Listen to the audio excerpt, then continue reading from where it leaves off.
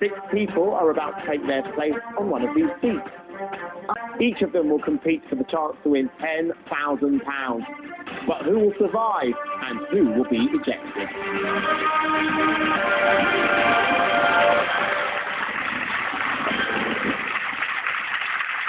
Welcome to Ejector Seat.